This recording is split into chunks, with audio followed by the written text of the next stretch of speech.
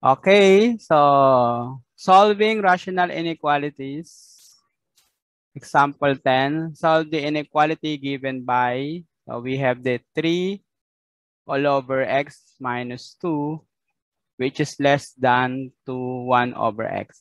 So ang goal natin dito, we are going to find out the solution sets belongs to x so that this statement becomes true. So ang gagawin natin ay yung left and right side of the inequality, dadalhin natin lahat yon sa left side. Then we are going to to find the inequality of this statement into zero. So we have the 3 over x minus 2 minus 1 over x. Kung mapapansin nyo, yung kaninang 1 over x natin nasa right side yon So dinala natin ngayon sa left side. So kaya naging negative 1 over x. Then uh, equate into 0 in equality form. Then after, after that, mapapansin mo naging two terms na yung ating left side. So, kailangan natin gawin siya. We are going to rewrite that into uh, one term so that we are going to find out where the zero of the unknown x. Importante yun para paglagay sa number line. So, ang pinaka-LCD natin dun sa two terms ay x minus 2 and x. Okay? Kasi wala na bang wala namang ibang divisible doon sa ating denominator kundi yung dalawang term na yon. So, ang mangyayari ngayon, denominator natin is x, quantity x minus 2 divided by x minus 2, cancel out. So, matitira yung x times 3. So, we have 3x for the first term on the numerator. And yung second term naman dun sa ating numerator, so cancel out ang x, then yung x minus 2 quantity multiplied to negative 1. So, the we have the negative of quantity x minus 2.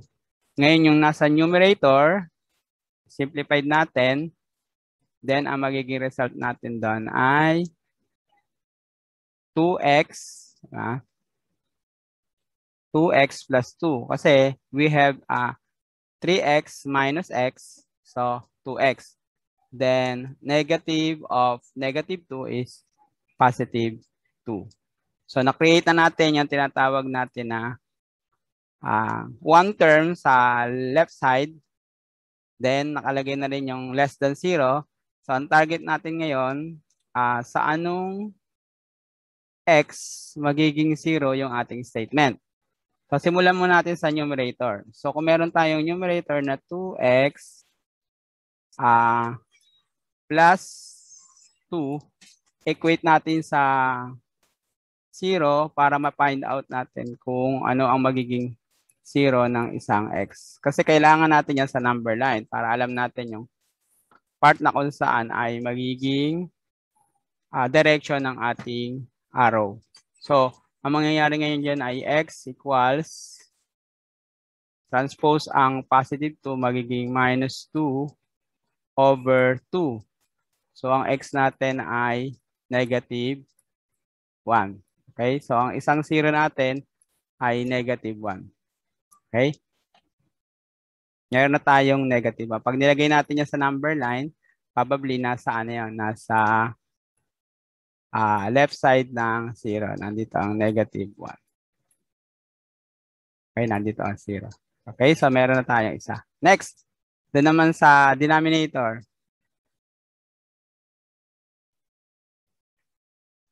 A denominator naman, so kapag naman ang isa dito sa dalawang factor ay naging zero, magiging zero ang denominator. Eh di ba meron tayong rule na uh, yung property ng zero, any number multiplied to zero is zero. Kaya ang isa na pwede natin gamitin ay x. Pag ginawa kasi natin zero itong denominator, yung, yung ating statement magiging undefined. No? So, ibig sabihin, uh, bawal na yung denominator ay maging zero. So, magiging zero lang itong denominator kapag yung x mo ay naging zero. Yung isa, di ba? Kapag ang x mo ay naging zero. Kasi pag 0 ito, 0 times another factor is still 0. Saan pa? Yung x minus 2. So x minus 2, pag ginawa mo siyang uh, x minus 2, so magiging x equals 2, di ba? So 0 and 2. So ito yung mga kailangan natin. Partially, no? Partially. So meron tayong negative 1, 0, and 2. Pero sa 0 and 2, hindi natin pwedeng isama yon or belong to the solution. Kasi nga, magiging undefined sila with 0 and 2. So therefore, pag nilagay natin sa number line, ito yung mga kailangan natin, negative 1, 0, at yung 2. Itong tatlo. Ngayon, yung tatlong yan, ang gagawin muna natin dyan, partial, ano muna, partial, open circle muna gagamitin natin kasi hindi pa natin alam kung yung tatlong yon ay belong or not belong to the solution set. Ang susunod mong alamin kung saan napapunta ng in direction ng ating shaded portion. Kung neg negative ba or kaliwa ng negative 1 or in between negative 1 and 0 or in between 0 and 2 or right ng 2. Kaya gagawa tayo ngayon ng table para ma-test natin kung ano ang mga shaded part nitong ating number line. Okay? So, ituloy natin yung part na yun. At least nakuha na natin yung mga partial point or partial zeros. So, next slide tayo. So, ito na, nakalagay na sa number line yung ating uh, partial zeros. So, the rational expression will be 0 for x equals negative 1. Andun na tayo. And undefined for 0 and 2. So, we are going to plot uh, these points on the number line. Then, lagyan lang natin ng uh, open circle kasi nga, unang-una, yung negative 1, hindi siya magiging part ng ating uh, solution kasi nakalagay lang doon ay, kung mapapansin mo doon sa ating statement, less than. Diba? Ang symbol niya ay less than. Eh, alam naman natin kapag less than, it is open circle. Nag nagiging closed circle lang yan kapag merong or equal to. Obviously, ganun din ang 0 and 2. Kasi di ba sa 0, magiging undefined yung uh, expression, ganun din sa do. Kaya lahat sila ay open circle. Okay? So, hindi natin siya i-close yung tatlong yan. Next in line. Susunod natin ay magkakaroon na tayo ng testing para alam natin kung saan ang magiging direction ng ating shaded kasi lalagyan natin ng shaded para alam mo na kung nasaan talaga yung mga sagot doon sa negative 1, comma, 0, and 2. Kung negative 1, left of negative 1, or less than negative 1, or either in between negative 1 or 0, or in between 0 and 2, or right side ng 2. So kaya ang mga intervals natin, yes, ang isang interval natin ay if x is less than negative 1, Going to left yon di ba? Then another interval, if x in, is in between negative 1 and 0, in between. Next is in between 0 and 2, yung ating x. And the last is if x is greater than 2. So, yun yung ating mga interval. Galing din yun sa ating number line. So, ngayon magkakaroon tayo ng test na number. Magbigay lang tayo ng titigis ang number na qualify doon sa ating mga interval. Isa lang. Let's say kung ang x mo ay uh, below negative 1, so magbigay ka lang ng isang number na mas mababa sa negative 1. At pwede ang negative 2, di ba? Kasi ang negative 2 ay mas mababa yun sa negative 1. So, yun ang isa nating test for first interval. Doon sa second interval, magbigay ka lang ng number na in between negative 1 and 0. At ang pwede ay ang negative 1 half. Di ba? Kasi negative 1 half ay in between yon. Kahit ano doon ha, ah, sa number na in between negative 1 and 0. O negative 1 half ang ilalagay natin dito as a test. In between naman ng 0 and 2, pwede na ang 1. Tama, di ba? Pwede na ang 1. Mapapansin nyo, kung pwede namang magbigay ng integers, integers na lang ibigay mo para mas madali sa testing. Kasi kung magbibigay ka ng ibang number, diba, mayroon pang square root, mahirapan ka rin mag-compute. Dito, na nagkataon lang na kailangan natin magbigay ng rational number gaya ng negative 1 half kasi wala namang integers in between negative 1 and 0. Di ba? Then, sa more than 2, maraming integers, pwede na ang 3. Mas malapit sa 2. Pero more than 2. Di ba? Tapos, lahat ng mga test, value of x ay gagamitin natin sa ating original uh, rational. Di ba? Ang original natin ay 3 over x minus 2 less than 1 over x. Then, i-verify natin kung ito ba ay true. Sa result, kung true, ibig sabihin, pag tama yung ating statement. At kung mali naman, syempre false. So, gamitin natin if x is equals to negative 2. Substitute mo lang. So, magkakaroon tayo na 3 over uh, 3 over negative 4. So, negative 3 fourth. Diba? Uh, less than negative 1 half. Tama? Negative 3 fourth less than negative 1 half. Ang negative 3 fourth sa decimal ay negative 0.75. Okay? And ang 1 half naman ay negative 0.5. So, base dun sa ating statement, ang tanong ko ngayon sa inyo kung ito ay true or false. Negative 0.75 is less than negative 0.5. Yes, it is true. Di ba mas mababa ang 0.75 negative kesa sa negative 0.5. Kaya ang ating result doon ay true. Okay? True. Next. Gamitin naman natin ang uh, negative 1 half para dito sa ating uh, original. Titingnan natin kung true yung magiging result or false. So, 3 divided by negative 1 half minus 2 magiging negative 3 halves. Diba? At ang 3 divided by negative 3 halves ay magiging ano sagot nun? 3 divided by 3 halves. Pwede niya i-calculator kung para mas mapabilis. So, meron tayong 2. Ama, pero dahil negative yung denominator, so magiging negative. At sa kabila naman, 1 over x is, or 1 over negative 1 half, that is negative 2. Okay, so dito, base dito, magiging false. Check nga uli natin sa magiging, at ano lang pala to? 2 and 1 half lang pala, no? Ang 2 and 1 half ay 5 halves, negative 5 halves. Okay, negative 5 halves pala. So, ang ating numerator ay 3. Divide natin sa negative 5 halves. Ayan. So, tama. Ang sagot ay negative 1.2. Ngayon, ang tanong dito sa statement na to, ang negative 1.2 ba ay smaller than negative 2? It is big no. Di ba? Kasi mas mataas ang negative 1.2 kaysa sa negative 2. Okay? So, ang ating, tama ba?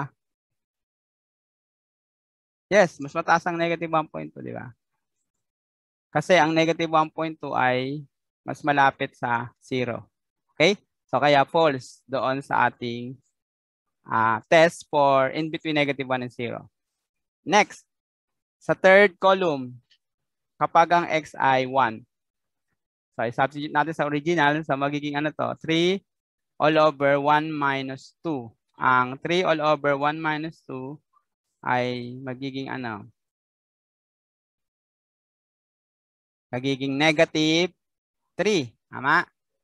Then yung right side naman, 1 over 1 is 1. So ang magiging result natin dyan, negative 3 is less than 1. And it is true. Tama, di ba? Ang negative 3 ay below positive 1. So, it is true. Okay. And the last, what if the x is 3? Test natin dun sa original. So, magiging 3 divided by 3 minus 2 or it is 3 sa left side.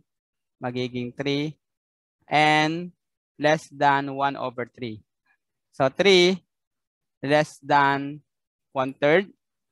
Ang 1 third ay 0.333 and so on. So, it is true. Because 3 is a whole number Eh, yung 0.33, wala pang 1 yon Kaya mas, ay? Wait, ano nangyari? False ito, di ba? 3 is less than false. Okay, so ito ay false kasi mas mataas ang 3. So, kaya false yon tama. False ang ating sagot. Doon sa statement, 3 is less than 0.3, so it is false. Okay? So, nagawa na natin, na-complete na natin yung table. Ngayon, i-verify natin sa number line. Balikan natin yung number line para ma-check natin kung saan yung portion na magiging uh, shaded. So, uh, negative 1, ang mga given natin na series ay negative 1. negative 1 tapos 0 at yung ating 2. Ang sabi doon sa ating uh, negative 1, below negative 1 ay true. Ibig sabihin yung left side ng negative 1 ay pwede na nating i-shade. At magiging infinite yan, di ba? Walang dulo kung lagyan natin ng arrow. Okay, negative 1, true. Pagdating naman daw dun sa 0, false. Negative 1 and 0, false. So, hindi natin nalalagyan ng shade. Yung 0 naman, true. Yes, true. In between. So, 0 and 2 in between, true. Kaya meron itong shaded. Itong portion na to ay merong shaded. Yan. Tapos, ang 3 naman ay false. So, wala siyang shade papuntang kanan. Then, ang gawin mo lang ay gawin mo siyang open circle yung ating negative 1 kasi hindi naman kasama yon sa ating solution set. Okay, yung 0 hindi rin kasama at yung 2. So, ganyan yung ating magiging number line. Uh, going to the right, negative 1. Going to the, uh, going to the left ng negative 1. Then, between 0 and 2. Okay? So, tingnan natin, extend natin yung sagot na yan sa susunod na result. Ayan. So, ito na yung ating number line. Then, nakaplot na rin yung ating points. Okay? So, tama yung ating ginawang graph. Okay, yung kanina, di ba? Going to right, ah, going to left, going to left, and going to left, and in between 0 and 2. Kaya pag nilagay mo yan, sa sinamarize natin into solution sets, so ito ang magiging information. The set of all x, which is an element of real number, such that x is less than negative 1 or in between 0 and 2. Okay? That is the solution set. Kapag nilagay naman natin siya into interval, so it is the it is going to negative infinity, comma negative 1 open, union with 0, comma 2. Okay? So, yun ngayon ang ating magiging final answer para sa part na yan. Okay? That's all and thank you. So, ang sabi dito sa ating example 11, isa siyang real life uh, situation of rational inequalities. A box with a square base is to have a volume of 8 cubic meters. So, ibig sabihin, uh, ano siya? Uh, para siyang tinatawag na three-dimensional, no? rectangular uh, box. Kasi 8 cubic meters, pero meron siyang square base na uh, square. Meron siyang base na square. Okay. Parang ano no, parang shoe box. Tapos uh, naka naka ano, naka vertical position, no? Let x be the length of the side of the square base So yung x natin ay represent for the side of the square base. And h be the height of the box. What are the possible measurement of a side of the square base if the height should be longer than a side of the square base? Ayan. Kaya doon pa lang doon sa question at doon sa ating information, pwede nating may sketch yung ating uh, given. So kaya nga pag in-sketch mo siya, unang-una three-dimensional siya. 'Di ba?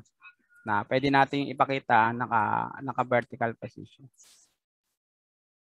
Tapos yung, yung kaya tinawag na square base, ibig sabihin, yan, yung ating, ah, siyempre may two, two, ano yan, two bases, di ba? Yung para square. So itong portion na height, in yung letter H. Tapos yung side naman ng square na siyang base ay yon ang ating x. Siyempre, dahil yan ay square base, ibig sabihin, magiging x pa rin itong another side. Three-dimensional yan, eh, di ba? Height, x, x. So, ganun naman kanya magiging illustration. Next. So, hingi tayo ng uh, doon sa information, ilagay natin, pwede tayong mag-create ng magiging equation. Kasi doon tayo mag-base sa equation na lalabas. So, sa solution natin, ang sabi dito ay the volume of the rectangular box is the product of its width, length, and height. Yun naman yung talagang formula. Kapag kinukuha natin ng volume ng tinatawag natin na uh, rectangular uh, in shape. Since the base of the box is square, base dun sa information, so kaya ang magiging width and length niya ay equal. Kaya ginamit natin, di ba? H, X, and X. Okay, so the variable X is the length of the side of the box, while H is its height. Yes, it is according to the given. So ang magiging relation, ang magiging equation na relating to height and X is 8. Yun yung nasa statement natin, 8 cubic. Baka mapapansin mo kanina sa ating given, 8 cubic meters. So, kaya meron tayong equals uh, 8. Nakalagay ay 8 equals. Then yung square base natin na parehas namang x and x. Kaya x square yung area niya. At yung height. Okay, yun yung sa volume naman ng rectangular box. So, meron tayong partial equation. Ang partial equation natin ay 8 equals x square h. Expressing h in terms of x. So, kailangan nating express yung uh, height in terms of the side of the square. Kaya magiging result, syempre ay magko-cross product lang ang x squared with 8. Diba? So, lagyan lang natin siya ng over. Tapos, itong x squared ay bababa lang doon para makuha natin itong uh, h equals uh, 8 over x square. Kailangan natin itong equation na to dahil yun yung nasa required doon sa ating information. Okay, again, hindi pa ito yung official question natin kasi nasa ano tayo, nasa inequalities. Eh kapag ganyan, hindi yan inequalities, magiging rational equation yan, di ba? So, kailangan natin ay inequalities. Okay, another part of the solution. So, na-express na natin yung height or yung h in terms of x, yung kanina. Since the height, sabi doon di ba sa statement, since the height is greater than the width, kaya ang magiging inequality natin ay h greater than x. Yung height daw kasi mas mataas doon sa length and width ng square base. And our inequality is, so ang ating magiging inequality ngayon, ang sabi ay x or height greater than the x. So, ang mangyayari ngayon, ang height natin ay 8 over x square base dun sa ating uh, partial equation. So, therefore, it is greater than 2x. So, nakabuo na tayo ng tinatawag nating inequality uh, rational inequality. Ayan, nakabuo na tayo ng isang rational inequality. Okay?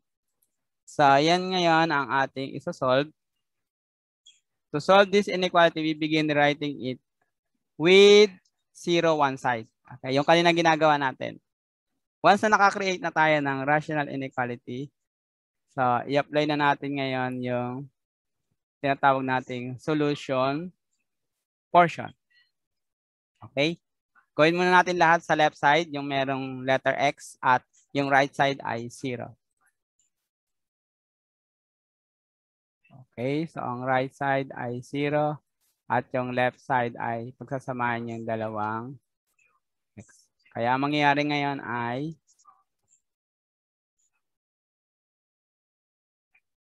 So 8 over x squared minus x greater than 0 Then gawin natin siyang single rational expression.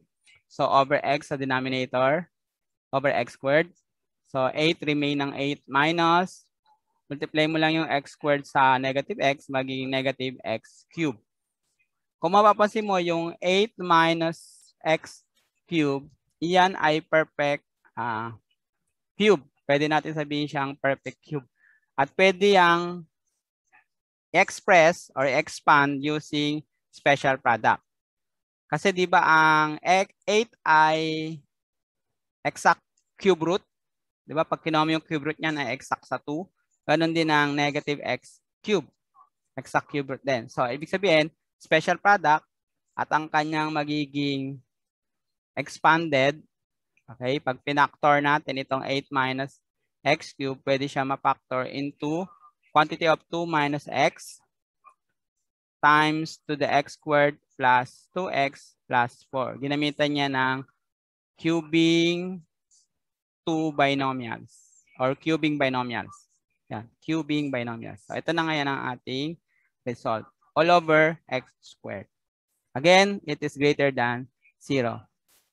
Ngayon, ang kukuhanin natin punto rito, kukuhanin natin ang mga zeros. Kung saan siya pwedeng mag-zeros, di ba? So, isunod na natin at ilagay na natin ang number line para diretso na. Okay? So, maglagay na tayo ng number line. Simulan natin sa numerator muna. So, ang unang makikita nating 0, ito, gawin mo tong 0. I-apply mo lang yung property ng 0. So, saan siya magiging 0? Kapag itong x, ginawa mong 2. Di ba? Magiging 0 na yan. Kasi 2 minus 2, 0. So, meron na tayong isang 0. Positive 2. 1, 2. Dito natin ilagay. Yan. So, again, gawin muna siyang open kasi hindi ka sigurado kung kasama ba siya or hindi. Pero ma-identify mo na kung hindi siya kasama kasi dahil dito sa symbol, 'di ba? Magiging kasama lang itong 2 kung merong or equal. Ganun. Eh wala naman. So, open circle siya. Next. Saan pa tayo magkakaroon ng 0? Dito sa factor. Kasi kung ito ay 0, pwede rin mangyari dito ay 0. So, saan siya pwede mag-0? Dalawa ang magiging ano nito, x nito, di ba? Isang, ay, ano lang pala, isa lang din. Kasi pwede siya maging uh, x plus 2, x plus 2 square. Ano ba? x plus 2 square. Kasi pag, ay hindi. Hindi pala pwede, no? Hindi pala ganun yun. Dapat 4 ito. So, hindi siya pwedeng ganun. Okay, so hindi siya pwede sa x plus 2 square. So, magbigay na lang tayo ng uh, partial. Diba, gawin nating uh, 2. Pag ginawa natin 2, 2 square plus 4 plus 4 ay ganun din. Magiging 0 pa rin kasi 0 nga itong kabila. So, ibig sabihin, lahat ng possible na ibigay mo sa x dito ay 0 pa rin dahil nga dito sa isang 0. Okay? So, gamitin lang natin yung isa. Then, sa baba naman, ano ang pwede? 0 lang. Ama, 0 lang, di ba? Kasi uh, 0 square, still 0. So, kaya ang 0, at sa 0, magiging undefined siya, di ba? Pag ginawa mong 0 ang x, magiging undefined. So, isasama natin ang 0. Andito ang 0. Ayan. Okay. So, andito ang 0. So, kasama siya. Pero, open circle. Kasi, undefined yung portion na yun eh. Kaya, open circle ang gagamit. Okay? Meron pa ba? Na pwede siya maging 0. Okay, tingnan natin sa next nating slide. Okay, so pag pinilat natin, yes, in between lang ng 0 and 2. Ang tanong ay kung saan ang direction, kung siya ba ay magiging ah, left side ng 0. Di pa natin sure. Depende pa sa magiging test dun sa table. Or right side naman ng 2. Or in between. Dito ba sa portion na to? Okay? So, gamitan natin ngayon siya ng test sa table. Okay, base dito sa test, sa result, ang mga kailangan nating gamitin ay x below 0, in between 0 and 2, at more than 2. So mag-test tayo ng negative 1 kasi ang negative 1 ay below 0. Kapag nag-test tayo negative 1, ang magiging output ay 8 greater than negative 1 and that is true. And that is true. Okay, next. In between naman ng 0 and 2, pwede ang 1. Pag tinest natin, ay 8. 8 pa rin. Kaya magiging true pa rin, di ba? So, true. Ibig sabihin, kung nasa number line tayo kanina, ang 0 ay true papuntang below. So, ibig sabihin, true dito, diba below true. Tapos, uh, susunod ay 0 and 2 ay true pa rin, di ba? So, may shaded pa rin yung 0 and 2. Nandito on 2 natin eh. Okay, ito ang 0, ito ang 2. Pero hindi kasama ang 0 ah. Hindi kasama. So ang kasama itong in between 0 and 2. Tapos yung ating 2 ay open din kasi hindi naman kasama ang 2. Pagdating naman sa x greater than 2 ay false. So hanggang dyan lang yung magiging portion ng ating graph. Okay, so ipakita natin yan with ating final answer. Okay, since the rational expression is true in the interval 0 less than x less than 2. Di ba? Doon sa ating number line, hindi na rin natin isasama ang interval ng x below 0. Kasi di ba ang pinag-uusapan natin dito ay uh, height. Eh wala namang height na negative. Kaya yung mga negative numbers, hindi na natin isasama yan. Diba? Ang portion na lang na kukuhanin natin mga true ay in between 0 and 2. Even if the expression is true here since we only consider the positive values. Positive values kasi nga ang pinag-uusapan ay height of the box. So ang tanong ngayon, doon sa tanong, ano ang ngayon ang magiging sagot natin? Therefore, the height of the box should be less than 2 meters.